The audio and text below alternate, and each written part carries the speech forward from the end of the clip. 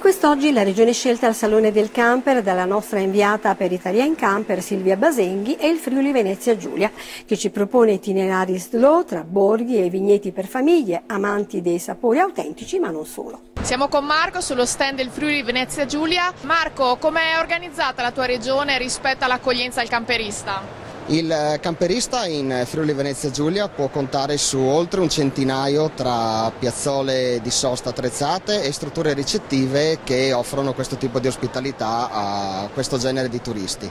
Il territorio essendo molto eterogeneo ti dà la possibilità oltretutto di visitare in pochi chilometri eh, località di montagna, città d'arte, mare, zone collinari e quindi diciamo che ce n'è per tutti i gusti. Hai qualcosa in particolare da consigliare a un camperista che stia passando per la tua regione?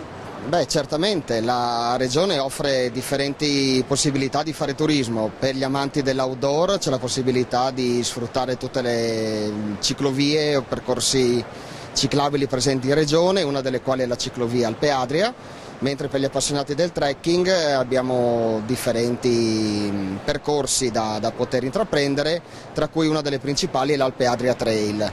Non manca sicuramente una grande offerta a livello enogastronomico con i grandi vini e i prodotti tipici della nostra regione, ma anche una, tutta una serie di attività legate comunque allo sport, alla, alla natura, alla vita all'aria aperta.